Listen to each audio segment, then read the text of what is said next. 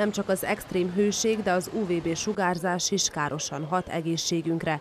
Az emberek is panaszkodnak, nehezen viselik a hőséget, és az egészségüknek is árt. Utiče na sve, na sve, i na zdravlje i sve organizam. Lecsökken a vérnyomás, szédülök, lehajolok, szóval vérnyomás ingadozás. Az orvosok azt javasolják, hogy minél kevesebbet tartózkodjunk a napon a forró délutáni órákban. Ezzel ugyanis elkerülhetjük az egészségügyi problémákat. Ennek ellenére egyre többször riasztják a mentőszolgálat munkatársait.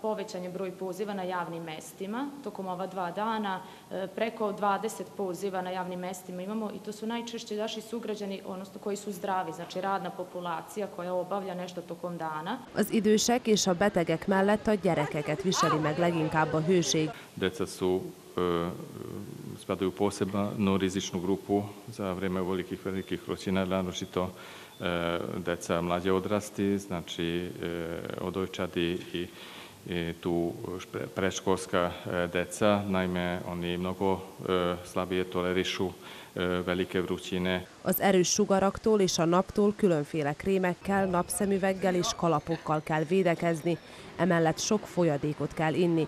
Akinek pedig nem muszáj, ne menjen ki az égető napsütésre 11 és 15 óra között.